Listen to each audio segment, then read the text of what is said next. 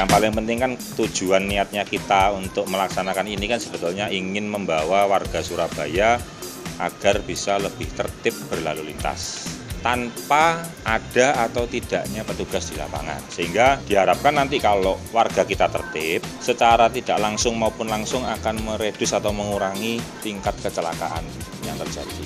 Angka kecelakaannya pasti akan turun. Karena awal muasal kecelakaan itu awal muasalnya dari pelanggaran Palomitas.